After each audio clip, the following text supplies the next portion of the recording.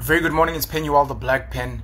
Uh, I'd like to start off by thanking my good friend uh, Rob Hersov, who invited me to, to the BizNews conference, which is the sixth BizNews conference, which is being held in the beautiful town De Klein Dorpie van Hermanus, uh, Hermanus in the beautiful Western Cape, uh, the Whale Coast. Um, he's been inviting me for a couple of years. I think it may be the first year that they are hosting it in Hermanus, uh, in the Western Cape. In previously, they'd been hosting it in the Drakensberg, uh, very very beautiful Drakensberg Mountains in KwaZulu Natal, where I come from. So to Rob Hersov, thank you so much for the invite. I appreciate it very much, and I'm actually honored to be here, along with so many other people that are here um, as well.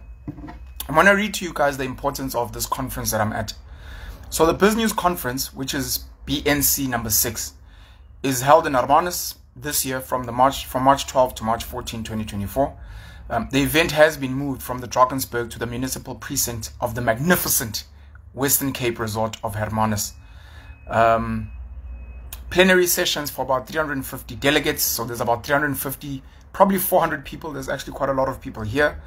Um, the opportunity is for members of the business community to interact directly with some of the keynote speakers, of which some of them are political leaders, some of them are business leaders, uh, some of them are various leaders within society. And this creates a platform for maybe you'd call it ordinary folk to be able to engage with people that they wouldn't otherwise have access to. I did make a video yesterday, I posted it on TikTok, Facebook, Instagram, LinkedIn, where I was saying it would be so great if black colored and Indian people were to host similar, similar gatherings. I think the ticket for this three day, three, four day event uh, is about 5,600. It's quite a lot of money. It's quite a lot of money for the average South African. You obviously divide it by three days, you know, to make it, you know, 1,000 something. Um, but the opportunity to sit with so many political leaders, the opportunity to sit with so many business leaders, the opportunity to be able to network with certain people is something that I think is really, really worth the amount. I mean, if you're a business person, this 5,600 you'll probably get very quickly back just from networking from some of the people there. If you're looking to boost your career, maybe get a promotion, maybe move to another company, this is a great opportunity to do that and you'll get that money back. You find normally with the masses of black people that the only time they get to see politicians is when they are campaigning and holding rallies at stadiums. And even then, it's not a, a interactive session. It is a huge crowd, tens of thousands of people, and the focus there is to get people dancing, singing, chanting, getting all hyped, and then being fed a lot of promises. We need some of these smaller spaces where people can actually engage with politicians, especially because a lot of them claim to represent the majority of the people. So I think for me, it's important to look into creating platforms like this. Not to say that the business conference is for white people, but it's very, very much um, out of the 400, 350, 400 delegates uh, having been there yesterday, there's a chance that maybe there were like 10 black people that were there. And that is not, uh, what am I trying to say? That is not to say that it was a white space. It is to say that the black people that were there were intentional about being in that space. And we need to create spaces like this for black, colored, and Indian people in South Africa to be able to engage politicians, business leaders, etc., etc. I know sometimes the ANC, the EFF, they host these dinners for fundraising, but those can be 30,000 Rand. It's a lot of money, and I don't know if it's worth it. Um, I think it would be great to create platforms like this 300, 500 delegates, Indian, colored, black, that sit in rooms and get to engage with some of the political leaders of the country. But again, shout out to BizNews. Shout out to Alec Hogg, the founder of BizNews, who was also the founder of MoneyWeb before it listed. Um, Newcastle High School old boy. Uh, so I'm, I'm very, very honored to be here again for that. Some of the guests that I saw, no, let me start with this. The guests that I'm going to be seeing today, because I'm going to be heading out there, uh, Wednesday the 13th of March, half past eight, Rob Hersov, my boy, is going to be speaking there. Always, always controversial. I don't know if uh, this time it will be different. Many people did not know of Rob Hersov until about two, three years ago at the business conference where he was calling out the ANC. And from there, it went viral. And since then, he's become like a pop activist that's really trying to hold government to account, while at the same time being polarizing for so many people because he is part of a third generation family that has made a lot of money in South Africa, having built mines, industry, etc., etc. Rob Hersov is, a, is in the morning, followed by Gayton McKenzie, the leader of the Patriotic Alliance. I've said openly that I will be voting for Gayton McKenzie. I've said openly that I'm not necessarily supporting the Patriotic Alliance, but I would like for Gayton McKenzie to sit in Parliament and challenge some of the policies that are there. Um, R.W. Johnson is going to be there speaking about the secularization of South African politics. Frans Cronje, who was with the International um, Relations, the IRR, International, what is it? Some race relations, the inter, Institution for Race Relations, sorry, the Institute for Race Relations, the IRR. Frans Cronje is going to be speaking after that.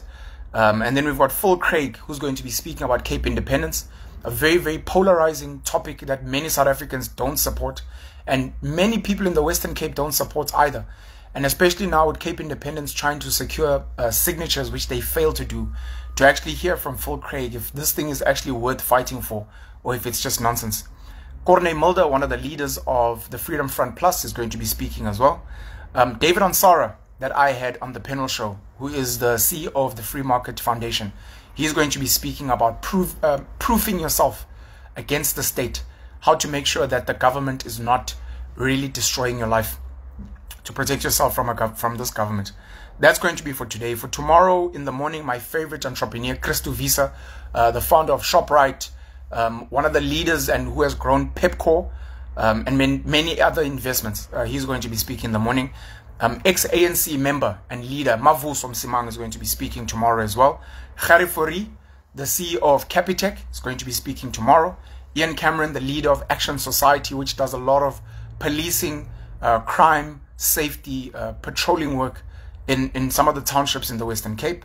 Wayne Duvenage, the CEO of OUTA, is the organization Undoing Tax Abuse. They, they are a non-profit organization which holds government accountable and says, but we're paying our tax. What are you guys doing with it? GG Alcock, uh, the white Zulu boy. He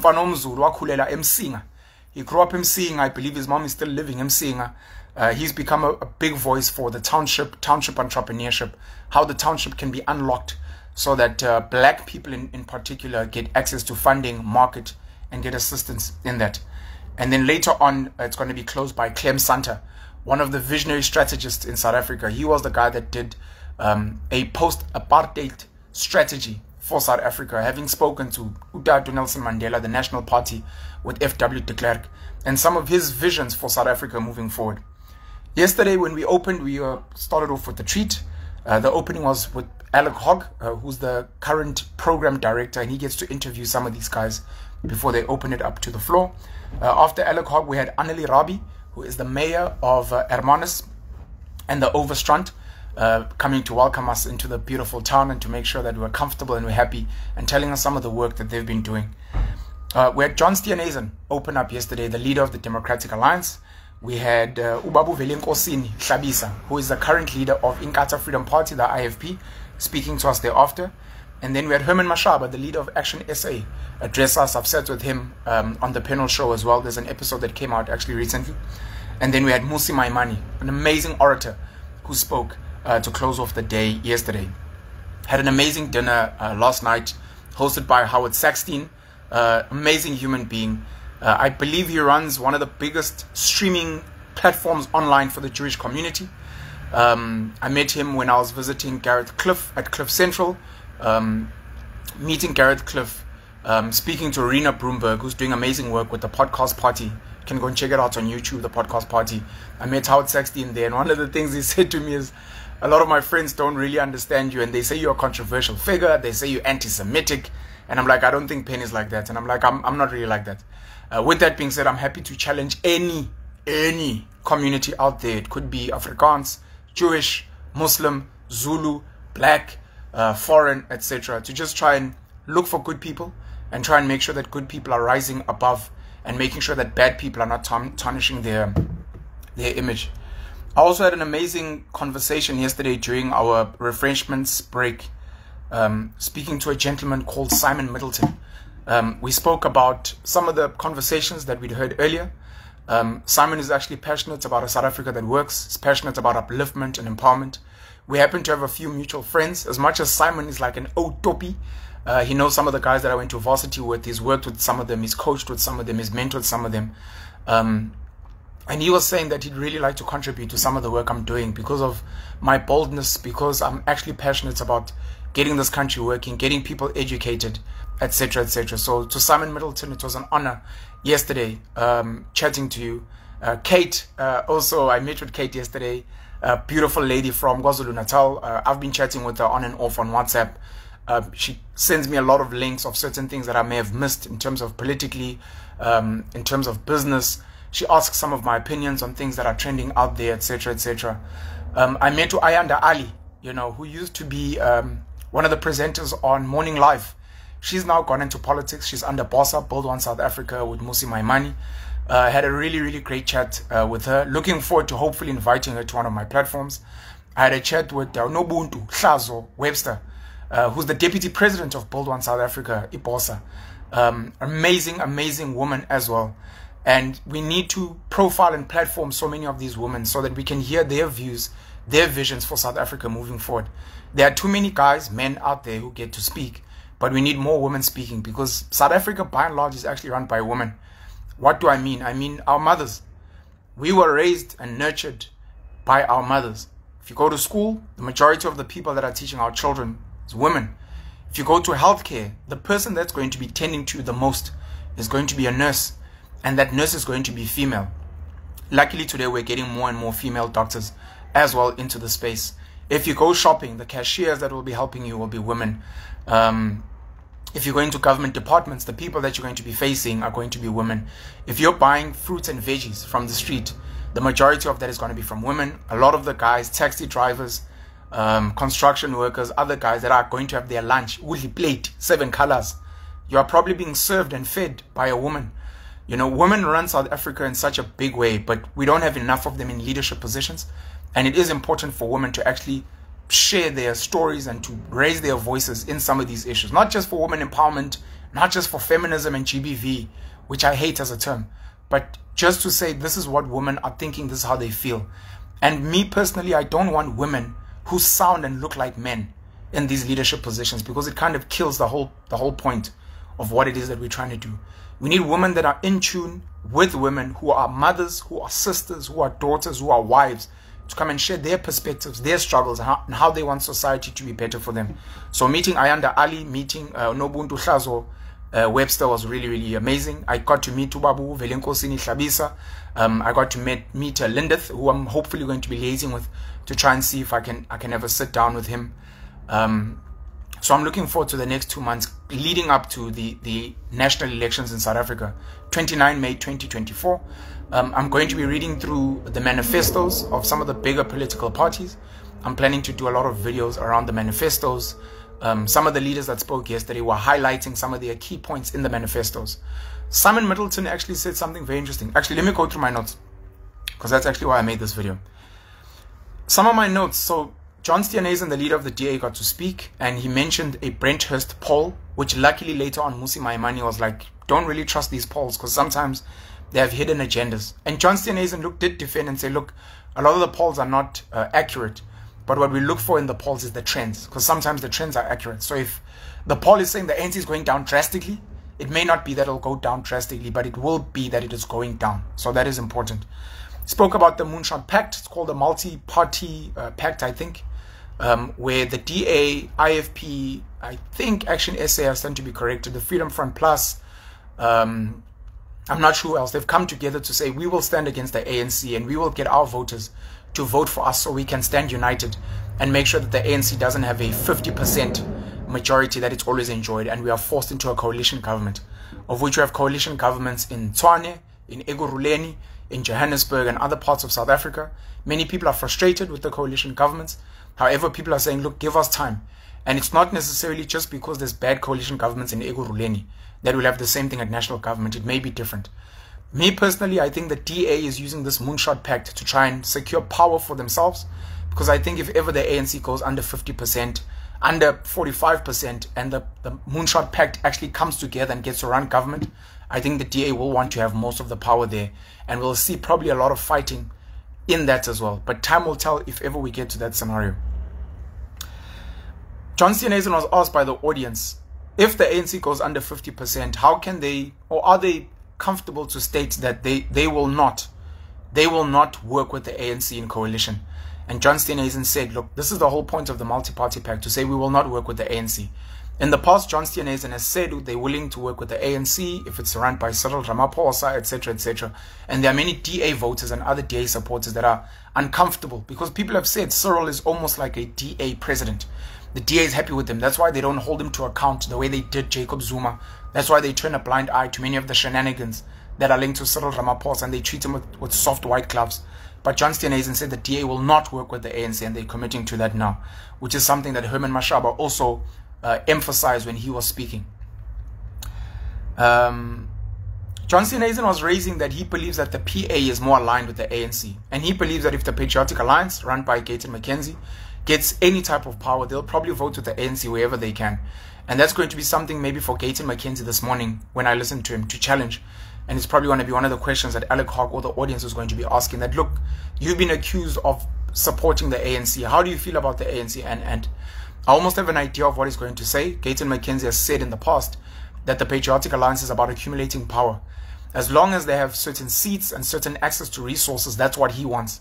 He doesn't care about DA, uh, of which he said that he is arrogant. He doesn't care about the ANC. Is like, if you guys will give us power so that we can influence and make an impact for our people, we are willing to sit and talk to you.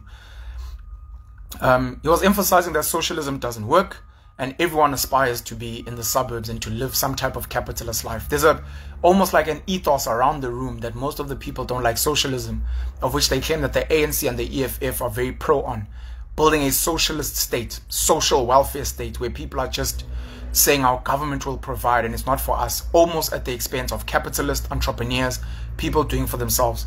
Herman Mashaba has been very, very vocal, even on the panel show, saying that he's a capitalist through and through. He believes in private property. He believes in the ability for people to do for themselves. And he doesn't like the idea of government being very, very influential in the market out there. He was the chairman of the Free Market Foundation at some point. Velenkosini Hlabisa, and one of the one of the 13 points that the IFP has on their manifesto is more support for traditional leaders. He went on to defending Gonyama Trust. He was asked a question from the audience. And it was one of the conversations I had with Simon Middleton um, during our refreshments break. Velenkosini Hlabisa was saying Gonyama Trust is doing very well for the people on the ground. And it's something that I hope when I get to sit with him, I can challenge. Simon Middleton said, look, he doesn't think that the trust should be unbundled. Because many people at the time uh, he was, I think, deputy president, if not acting president, Ubabu Kgalema Motlanthe was saying the Ingonyama Trust needs to be unbundled along with all the other trusts that are run by, by traditional leaders. The people need to be given title deeds, have access to their land, it would be the ANC and the it would be the parts of the ANC and parts of the EFF that were saying don't do that. You guys are trying to unbundle the trusts so that these people can put up their land as collateral for the banks and the banks will come and repossess their land. Simon Middleton was saying, look, he doesn't think the trust should be unbundled. And what we agreed on, maybe the issue is leadership. King Misuzulu of the Zulus now may not be the best leader. His father, may he rest in peace, to King Goodwill Zwelithini may have been, not have been the best leader. But the idea of having a visionary leader to run Ingonyama Trust on behalf of the people, to make sure that the economic activity on Ingonyama Trust is benefiting the people, building infrastructure for the economy there is for the people. 2.8 million hectares. And, you know, listening to his argument, I was like, I think I can understand this. Because you look at a place like Orania or any other space that would be maybe owned by Indian Muslims, white Afrikaners, black Xhosa people, black uh, Venda people if it was under a trust, but it had a good leader, maybe look at Royal Bafokeng as an example with the money they've made from platinum mining. Maybe people wouldn't mind. I just needed Simon to also agree, which he kind of half did, that the whole idea of not giving people their title deeds in their land and giving them a king to rule over them like that is almost saying they are children. We don't trust that you'll be able to make the right decisions for yourself. You may lose this land. You may make silly uh, decisions. And if we're happy as a South African nation to say, look, you will keep having tribal land, the people on that land need to agree that, look, we are children, we need a parent to take care of us, um, then it's fine. But then we need leadership that is going to be held to account. And if that leadership is not doing what needs to be done, they need to be removed. In the Zulu kingdom, for example, you cannot remove Umisu Zulu unless you follow traditional procedure. The people under Ingonyama Trust are not given a right to vote. They're not given a right to say, no, we prefer Jacob Zuma as the king of the Zulus and under Ingonyama Trust. We prefer Velenkosini Hlabisa. We prefer Ngizwe Mchunu. to be the person that's going to lead the Zulu nation moving forward. They don't have that opportunity. So that there's a case for something like that. The question I asked Simon Middleton as well was if you're supporting Ingonyama Trust and other such trusts that own tribal land, how different is that from state ownership, which the EFF wants? And he laughed and he was like, look, you may be right. It's, it's something like state ownership. Ingonyama Trust is basically an example of what having state custodianship would look like. Of course, you'd want to have a different government and a government you can hold to account and a government that you can remove if they're not serving the people. But I thought that was a really good conversation. But it's something I want to challenge Ubabu, Ubabu to say, I don't think Ingonyama Trust and other such um, trusts are serving the people best. Many people from KwaZulu, from the Eastern Cape, from the Free State, from Mpumalanga, from Limpopo, um, I'm not so sure about the Northern Cape so much. A lot of those people, they move to the big cities to and get jobs as domestic workers, as nannies, as security guards, as cleaners, because the land that they have is not serving them. Yes, there may be land where their animals graze. Yes, there may be land where they can plant, but it is not enough to sustain them and their leaders are not building infrastructure so that they can actually build enterprise. Something like Afgri, where the, the, the people that are growing grain on this land can send their grain to a place that can sell, make them money. Something like a Karan Beef, where people that uh, uh, maybe breed goats, sheep, cows, um, pigs, chickens can send their stuff to a, a, a co-op or space that can trade on their behalf. Um, something like a clover, where milk farmers, um, black in particular, but including Indian, colored, etc., that live on tribal land, can take their milk, make sure that it is good quality, and then they sell milk, cheese, yogurt, amasi, etc. So the leadership and the structures, infrastructure is very, very important. And this is a conversation that needs to be had. Um, Uvelenkosini Hlabisa was asked about Cape independence and uh, the the ex king, the previous king of KwaZulu, uh, Uzwelithini, had spoken and threatened to create an independent KwaZulu state. And he was asked how he feels about that, and he said the IFP does not support an independent KwaZulu. I think it's a conversation that actually needs to be held by the people of KwaZulu.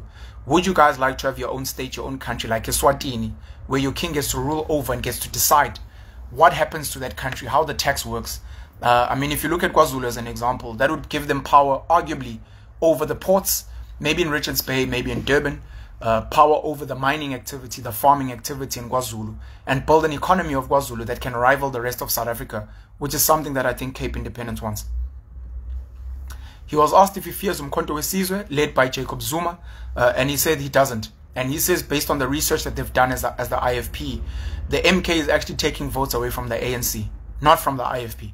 So he's very confident that the MK is not a threat, but the elections will expose whether he is right or wrong. Because many Zulu people, you know, speaking about tribalism, many Zulu people are saying they will be voting for MK. But it's not just Zulu people. In the streets, I've been meeting Amaxhosa, Tswana people, Sotho people. I've been meeting a few colored people who are like, look, we like Jacob Zuma. We like what type of a leader he was when he ran South Africa. We're going to vote for MK. Umkhonto Wesizwe. He says he doesn't fear MK and he believes they're only taking from the ANC. But himself and some of the leaders were also saying the MK is an ANC project. The MK is an ANC project. They are just trying to help disgruntled ANC voters who are not planning to vote for the ANC to have another home to vote for. And if the MK gets votes, they're going to give those votes to the ANC, is one of the arguments. And again, time will tell. I find it interesting that, uh, that he says that. And one of the things I want to challenge him on is uh, arguably, Inkatha Freedom Party was also an ANC project where Chief Mangosuthu Buthelezi, may he rest in peace, was sent out to go and find a way to consolidate Zulu votes and Zulu power under the IFP and they broke away and became their own party in, in, in their own right. So what would stop Umkhonto Wesizwe from doing something like that? COPE was a breakaway from the ANC. The PAC uh, under Robert Sobukwe was a breakaway from the ANC. We've had we've had many others uh, as well. What is interesting for me, which is a conversation that I'll need to have on my platforms and with him or other leaders of the IFP, Mkhuleko Hlengwa is another amazing leader, young leader of the IFP I'd love to sit with. What would be interesting to, to note is how they've lost power over time and whether the IFP is actually a dying party. Uh, Babu Velenkosini Hlabisa highlighted that the IFP is one of two political parties that existed uh, in 1994, one of a few, rather, let's put it that way, that has actually been able to survive through the storms. The ANC, of course, being one, IFP being another one. I think it may be that the ACDP as well, under Reverend Kenneth Meshoe, who I sat with on the Penuel show, um, He was saying the IFP has been able to outlast many other political parties that have come and gone. People are looking for the full death of COPE coming this election, of which COPE at some point was the third most voted for party in the country. It's dwindled to almost nothing now under Musiwa uh, Terror Lekota and Ubabumbazi Shilowa. Back in 1994, the IFP got 2 million votes. 2 million votes. The EFF currently gets 1.8 million votes, making them the third biggest party, with the DA getting 3.6 million, with the ANC getting 10 million. But 2 million votes in 94. And then over time, you look at how they've moved from 2 million to 1.3 million to 1 million votes to at some point 800 odd thousand to there was a year when they had um, 400 and something thousand votes. But it was the year when Umamu Magwaza Msibi set up the, the NFP. And the NFP got about 280,000 votes, of which when you combine the votes, it comes up to about 700,000. From 800 and something thousand to about 700,000 with the IFP and the NFP. And then at the last elections, they went up to about 580,000 votes. But this is, there's like a downward trend. Is the IFP going to be losing more votes this year from 580,000, maybe to 400,000, maybe less? Especially when you look at the introduction of Umkhonto weSizwe and very, very big uh, losing Ubaba Umangosuthu Buthelezi last year, who passed away, who has been the leader of the IFP all these other years. What does that mean for the IFP? Are people going to start saying, you know what, the king of the IFP, the chief of the IFP is gone. So it's time for us to be like, now, you know what, we're good. We're out. Uh, thank you very much, but uh, we're happy to move on. The tagline and the hashtag for the IFP in the, in the posters and the campaigning is hashtag do it for Ushenge who's Ubabu Umangosuthu Buthelezi. His face is on the posters along with Ubabu Hlabisa. So that would be an interesting conversation uh, in itself. And then the last thing I want to highlight, you know, uh, Herman Mashaba, uh, most of the things he raised yesterday are things that he raised on the panel show. So I'm not going to rehash that. If you'd like to hear um, the things he spoke about yesterday, he echoes a lot of them on the panel show. Go check out that episode, the panel show with Ubabu Herman Mashaba.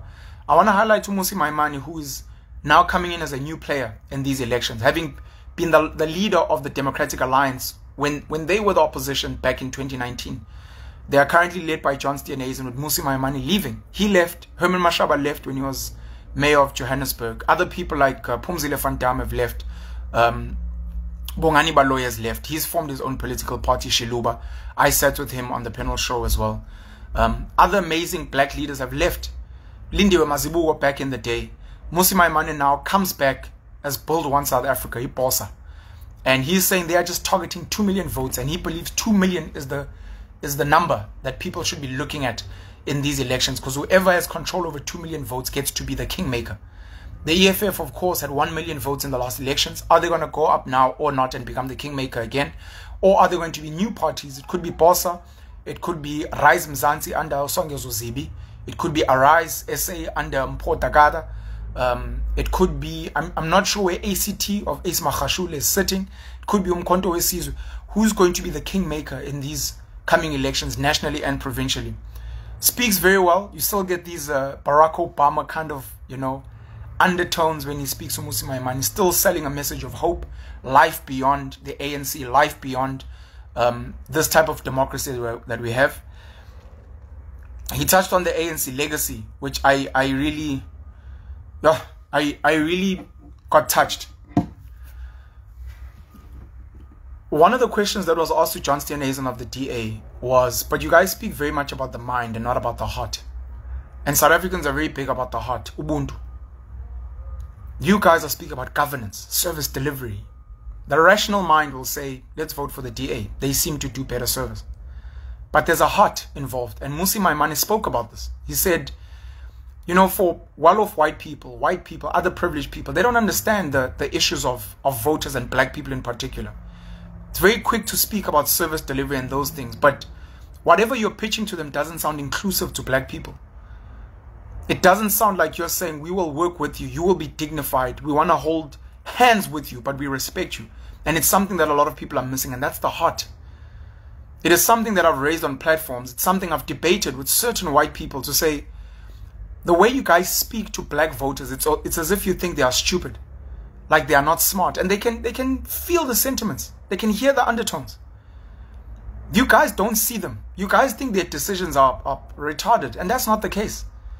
You have to listen to the person because when they vote ANC, when they vote EFF, it's not just because of emotions. Some of it is because, you know, they're actually applying their minds, they're applying bread and butter issues, and they are seeing themselves being included in an ANC and in EFF. If you look at the DA, if you look at the Freedom Front Plus, if you look at some of these other political parties, they don't seem to see black people. You know, and he spoke so beautifully about the ANC and the ANC legacy of the past. It reminded me of when I went to the podcast party and I was speaking about the legacy of the ANC and the good work they've done in the past. Because he mentioned things like, you know, some of the roads that have been built, people that get to live in homes um, that they didn't have before, people that get to send their children to school and get to see their children become professionals. Something that it seems some of the other political parties are not even speaking to. That we're not coming here to come and serve as this top down approach. We are coming to work with you on the ground. And something that has been big for me in the last couple of weeks is the strength of the ANC on the ground. It's something I discussed with Umusi. I got to have dinner with him last night. It's something I discussed with him. It's something that uh, I appreciate that Action SA is doing as well. And one of the things that surprises people about Action SA, why they're doing so well, it's because they do work on the ground. The DA is not doing a proper push in townships on the ground, which almost means they don't want to be there. Herman Mashaba says one of the issues he had as mayor of Johannesburg was the DA had an issue with him serving poorer spaces and calling him an EFF mayor. He's like, but I'm not a DA mayor. I'm the mayor of Johannesburg and I need to serve all the people, in particular poor people, of which I was a poor person at some point. But you guys want us to focus on certain people. And I don't appreciate that. The power of the ANC on the ground, it's something Dan Corder said when he sat with me on Dope Conversations, is not to be scoffed at. I've now set up Penuelism Community Branches, PCBs. I'm planning to begin building branches on the ground for volunteerism, not for political power, not as a church for people to tithe and make me rich. Upapa, go deeper, ah, papa, and be major one. It's volunteerism inspired by AfriForum's work on the ground, by some of the work I saw happening in Orania, by the Gift of the Givers, led by Imtiaz Sooliman, by Stephen Bantu Biko's Black Community uh, programs, um, the Black Panthers Party, run by Huey P. Newton in America, the Japanese and their culture of minimalism and service, and even the North Koreans and Juche, doing for self, self-doing, ukuzibambela, ukuzenzela, vukuzenzele. I'm setting up Penuelism community branches as my project of how I make South Africa better. Set up a WhatsApp group. We've got over 100 people there now, and we're going to be building systems to ensure that people on the ground are present, like the ANC, like the EFF is doing so well, and Action SA is doing now, and what Build One South Africa is planning to do. We need people on the ground to volunteer to say, we will pick up the litter. We will patrol the communities. We will visit weddings. We will visit funerals to come and lend our sympathies and condolences and hopefully leave, some, leave something. We will volunteer at weddings and funerals for free to come and serve the families to see that we are present. And like AfriForum, we will make sure we do some type of basic service delivery. And then we will partner with local businesses, even if they are foreign owned, to say, listen, we are here. We are here with your spaza shops. Please make sure we're going to come and do um, patrols at your spaza shops and make sure that uh, the food is not expired. We will make sure, my friend, that you are selling the right things. We'll make sure, my friend, that you are also safe in this space. But we will also make sure that, my friend, the money that you're making here from our people, you have to invest some of it back into the people. So donate to our weddings, donate to our funerals because we buy from you, donate to our soccer teams in the township, donate to our schools, my friend. And then some of the more formal businesses, the Capitecs, the ShopRites, the PEP, you know, even the, the Shisanyamas, the bottle stores, the taverns, Mamuban, Babani, the taxi industries in these communities. How do you guys contribute? We need some of your money to sponsor our soccer tournaments, to sponsor netball tournaments, to sponsor some of the schools so that we can see KIT, we can see even the churches. How do we volunteer churches? How do we work with the church to feed the people, to house the people, to help people build better homes and, and in the communities and create these Penuelism community branches because it's on the ground that real change works and it's what keeps the ANC powerful. Outside of corruption, uh, maladministration, their arrogance, etc., it's the work on the ground. I'm going to have to close off this video soon because uh, I have to head out. The conference starts at half past eight. It's ten past eight now. Uh, I'm gonna have to take like a short walk because it's it's not too far. but again, man, I'm, I'm honored to be here. Uh, I'm going to be making another video, hopefully later today, if not tomorrow, speaking about some of the conversations and things that were sparked today at the sit downs and some of the people hopefully I will have met. Again, I need to send a shout out to Mr. Simon Middleton. Thank you so much. Um, I'm looking forward to the work we're going to be doing together with your support. Thank you again to Rob Hersov for inviting me here. And I always have to give a shout out to his beautiful wife, uh, Katie, and his beautiful family and his sons. Alex, I think, is in LA, if I'm not mistaken. Shout out to Alex. Um, shout out to Howard Sackstein, man, who hosted me. Um, I'm hoping to do a lot of work with Howard Sackstein and some of his associates. Shout out to Mmusi Maimane, um, that I had a really great time chatting with yesterday. Ayanda Allie, that I'm going to be chatting to. Nobuntu, uh, Webster. Um, shout out to some of the people that I'd met before. Clinton, um, Dirk, one of the co-founders of YFM. I actually, I'm, I'm going to chat to him as well. Dirk, uh, we'll speak about Greg Maloka when they set up YFM and the work that they've done. Um, Alec Hogg, man, Newcastle High School, all boys, uh, unite. And shout out to his wife, uh, who also went to Newcastle High School in KZN. Shout out to the beautiful town of Hermanus, uh, to Annelie Rabie um, for hosting us as the mayor of the Overstrand. Overstrand. Um, I don't know who else I'm for. you. Babu Velenkosi, Hlabisa, Lindith, that I'm going to be speaking to as well. Um, Stuart. Um, geez, I'm, I know I'm going to forget a lot of people. But everyone who's been welcoming, warm, Kate, of course. Um, I'm looking forward to the chats, to the engagements. Babu Herman Mashaba, who's here. Uh, Gayton McKenzie, my boy, G. Uh, going to be catching up with him. It doesn't have to be today. You know, I have access to Gayton, which makes me happy. I need to spend some time actually sitting with Tukeni Gnen. He's another great um, leader who wants to see change in South Africa, the sushi king. Um, but yeah, man, I'm, I'm honored to be here. I'm excited to be here. And to be here for on spaces like this allows me to connect with people and to share my experiences and what I've seen with you guys. And when I do that, I allow you guys to use me as an instrument to say, Pen, you must ask these people, you must challenge them. What can they do for us? This is what needs to happen. And that speaks to the to the birth of Penuelism community branches. It's me looking for ways that we can make a difference. Of course, keep contributing to Action Society Ian Cameron contribute to Imtiaz Sooliman's Gift of the Givers, contribute to AfriForum if you can, um, study the, the Orania model and see if you can create something similar. Um, and Tlantla Lux, my boy, is doing amazing work. He's doing drug rehab currently. He needs to do more work in Soweto as well, some of the work that he's doing. Um, Tutuzane Zuma and uh, all game changers, Winston Innes and the work they're doing in Durban, um, and everyone else who's trying to make this country better. We need to come together and work. You know, Mmusi Maimane was speaking about how BOSA is about values, and that's why they're not really much into partnering with so many different people and the Moonshot Pact. We want our values to stay strong regardless so that people know what we stand for and then to do the work. At the end of the day, it's about the work. So we need to do the work. Um, I'm excited to be here. I'm hoping to be invited to more gatherings like this, especially those that are hosted by the Indian community. The Indian Muslim community is a community I admire. I'm looking forward to being invited to some of their platforms or gate crashing some of their platforms. The Jewish community and the Jewish Board of Deputies in South Africa, I'm very open to sitting at some of their gatherings. Um, I'm hoping to be invited to, I'm going to be sitting with Ubaba with Santaku, hoping to sit with the taxi industry in South Africa. Um, I met an amazing young man, I forget his name now, in Durban last year, who runs the, I think he runs the National Taxi Association, or is one of the leadership, and he works with taverns and shebeens. We need to have conversations about alcohol abuse and some of the work that tavern and shebeen owners need to be doing in the township. Let people have a good time, but let's do it responsibly uh, and find ways to give back to the communities. Um, yeah, I don't know what I'm forgetting. Don't know what I'm forgetting. Uh, happy to sit with um, the Zulu King, Misuzulu. That would be really, really dope. Happy to sing with, sit with any of the other kings and leaders in South Africa uh, from the, uh, the, the Basotho clans.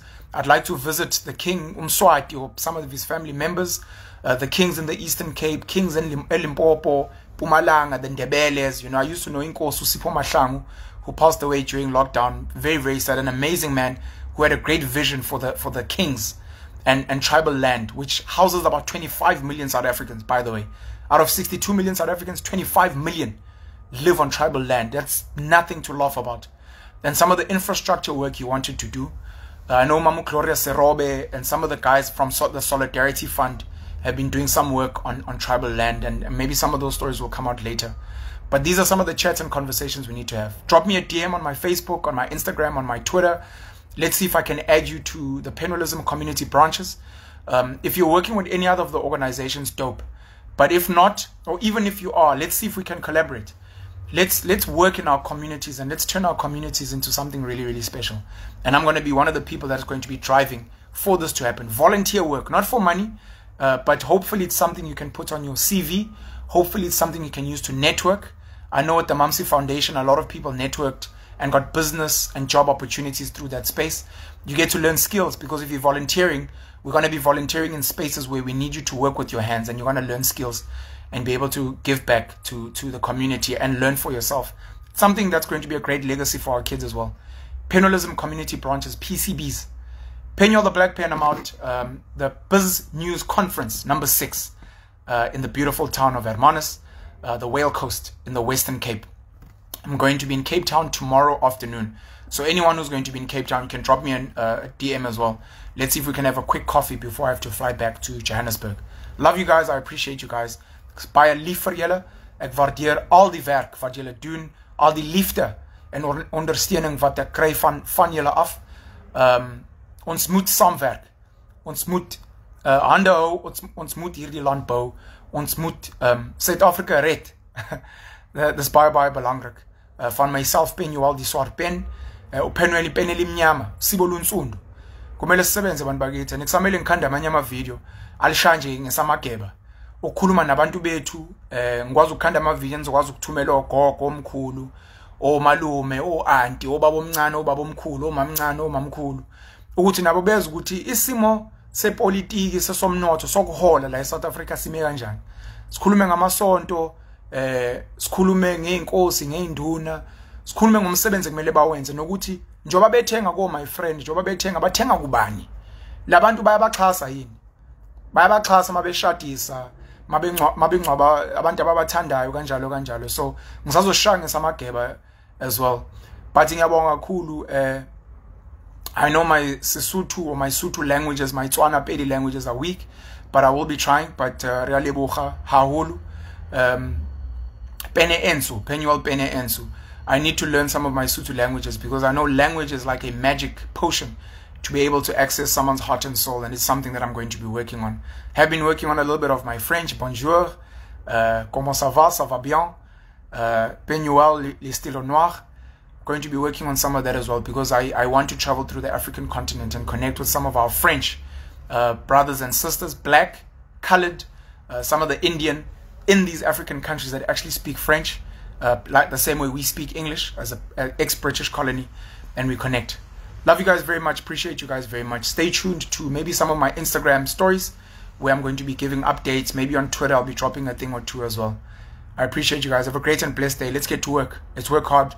Let's build the type of community that we want to emulate Dubai, Hong Kong, Las Vegas, Sun City, Stellenbosch, uh, Hermanus, you know, beautiful towns that are doing really, really amazing work. I'm out. Cheers.